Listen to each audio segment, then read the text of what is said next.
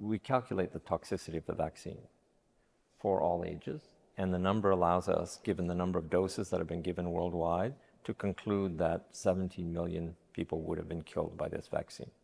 You can actually see when there's a rollout of a booster, for example, which happens very quickly in time for a given age group, you can actually see immediately following it the, a, a, maximum in the all-cause mortality. So an excess mortality actual peak that's temporally associated with that rollout. And we see that repeatedly for each rollout.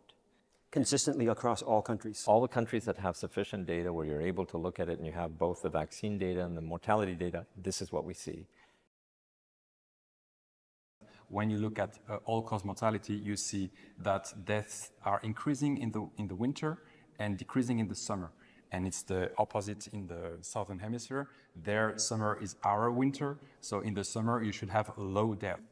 But during the COVID vaccine campaign, suddenly you see spikes in mortality right after uh, vaccine uh, campaigns, and it's very clear because it's in the summer where you should see a low death period especially in the boosters, like for the southern hemispheres, like the, yeah. you have a peak, you know, across the boosters will roll out basically everywhere at the same time around the world. And in the southern hemisphere, it's a trough, as Jeremy just explained, so we should have a trough. But then you have an actual so winter peak, actual booster peak, and another winter peak. Yes. So that's everywhere in all the 17 countries we yes. worked out.